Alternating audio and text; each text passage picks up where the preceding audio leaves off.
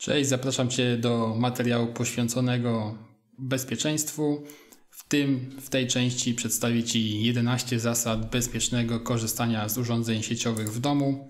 Tak naprawdę skupię się tutaj na urządzeniu dostępowym, tak zwanym routerze, głównie na routerze bezprzewodowym, bo myślę, że tego typu urządzeń jest najwięcej w naszych domach, w naszych mieszkaniach. I punkt pierwszy Sugerowałbym zmienić dostępowe hasło do, do routeru, te, które jest tak naprawdę domyślnie, czyli te, które jest zapisane w instrukcji lub na takiej specjalnej kartce dołączonej do tego urządzenia. Z tego względu, że w, w internecie znajduje się cała masa haseł dostępowych do tego typu urządzeń, które umożliwiają po prostu przypomnienie tak naprawdę tego hasła posiadaczom tego typu urządzeń E, hasła te e, znajdują się tam tak naprawdę do każdego urządzenia, także dla własnego bezpieczeństwa warto to hasło zmienić. Wiadomo, że dostanie się do routera, czy nawet umożliwienie wpisania tego hasła jest możliwe tylko wtedy przy dołączeniu się do sieci. Myślę jednak, że to jest dobra praktyka, by to hasło zmienić. I jeśli już zmieniamy, to warto tutaj za, zastosować menadżer haseł, który to hasło nam wygeneruje. Kolejna sprawa to sugeruje wyłączenie e, Wi-Fi Protected Setup, czyli technologii umożliwiającej szybkie e, dołączenie do sieci poprzez na przykład skan QR kodu. Jest to technologia podatna na szereg różnych e, niebezpieczeństw i tak naprawdę warto to wyłączyć, a poświęcić chwilę czasu na to, aby to hasło dołączając się do sieci wpisać i w bezpieczny sposób do tej sieci dołączyć i z niej korzystać. Kolejna sprawa, e, sugerowałbym wyłączenie Universal Plug and Play. Kolejna technologia rzadko używana, która początkowo miała ułatwiać mm, korzystanie z sieci Wi-Fi, jednak cechująca się szeregiem różnych podatności. Co chwilę odnajdywane są kolejne, dlatego bezpieczniej jest to wyłączyć.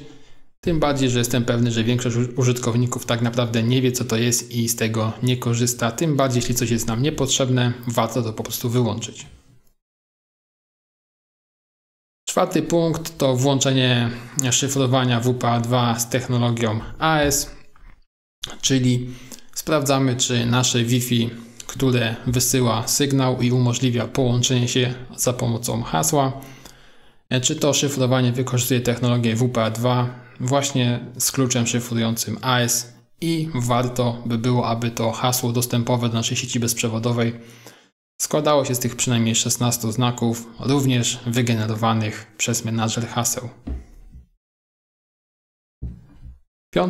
piąty punkt to dobranie odpowiedniej nazwy dla identyfikatora naszej sieci, czyli ta nazwa, która wyświetlana jest e, w sytuacji, w której chcemy odnaleźć i połączyć się z siecią bezprzewodową. Warto, żeby ta nazwa jakoś nie identyfikowała nas, żeby to nie było imię, nazwisko, pseudonim, numer mieszkania czy też numer domu.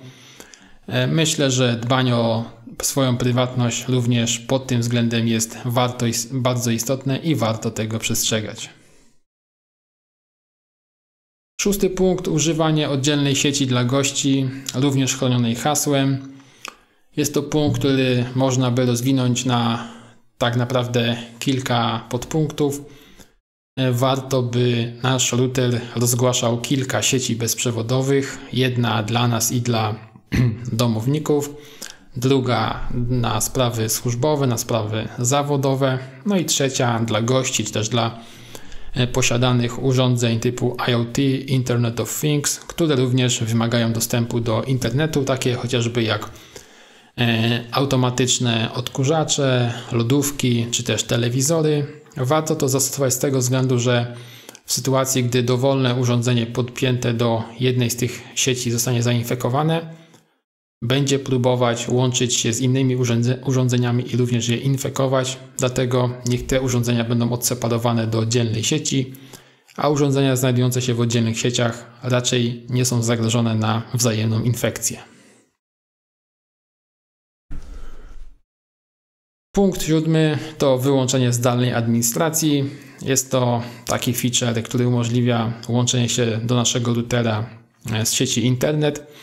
Jeśli sami tego nie robimy, czy na przykład nie skonfigurowaliśmy dla kogoś i nie jest naszym obowiązkiem dbanie o ten router, to warto to wyłączyć i tym samym zredukować potencjalne niebezpieczeństwa czyhające za tym, że ktoś na to urządzenie nam się zaloguje, ktoś je znajdzie w internecie za pomocą wyszukiwarek typu na przykład Shodan, czyli serwisu, który umożliwia wyszukiwanie urządzeń sieciowych podłączonych do internetu, podobnie jak to wyszukuje e, serwis Google po wpisaniu frazy strony internetowe.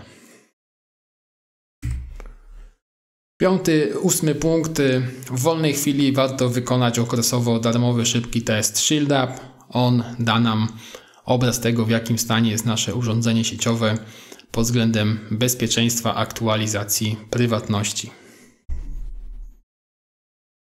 Dziewiąty punkt to wyłączenie kolejnej niepotrzebnej technologii dla większości użytkowników, czyli port forwardingu. Wyłączamy, zapominamy. Jeśli nie wiemy, co to jest, to tym bardziej wyłączamy, bo w takiej sytuacji z pewnością nam nie jest potrzebne. A jeśli jest nam potrzebne, to oczywiście konfigurujemy to w taki sposób, by było bezpieczne przede wszystkim. E, dziesiąty punkt używanie innych DNS-ów niż domyślne. DNS-y są to serwisy, które E, tłumaczą nazwy stron internetowych, adresy stron internetowych typu na przykład google.pl na ich adres IP, adres zrozumiały dla komputerów. E, serwisy są to niezbędne w celu łatwiejszego korzystania z internetu przez nas, przez ludzi, gdyż łatwiej zapamiętać wyraz czy też ciąg wyrazów niż ciąg cyfr. Korzystanie z takich innych serwerów DNS-owych typu na przykład 888 pozwala nam dbać o naszą prywatność, e, redukuje śledzenie przez mechanizmy trakujące, mechanizmy reklamowe, jak i uniemożliwia dostęp do stron figurujących e, w oficjalnych właśnie zbiorach jako niebezpieczne. I ostatni punkt, e, raz na miesiąc, raz na kwartał warto na ten nasz router się zalogować, sprawdzić czy są jakieś aktualizacje, jeśli tak to je zainstalować, poświęcić na to te 5-10 minut, a mieć głowę spokojną, że korzystamy z najnowszej wersji oprogramowania dostarczonego do tego urządzenia. I to wszystko jeśli chodzi o tą część. Serdecznie zapraszam do zadawania pytań, do dzielenia się tym materiałem wśród znajomych. Myślę, że każdy jest w stanie z niego dużo wyciągnąć i zachęcam do wdrożenia przynajmniej kilku tych punktów wymienionych w tej części, aby po prostu bezpieczniej, bardziej prywatnie i anonimowo korzystać z internetu. Dziękuję, cześć.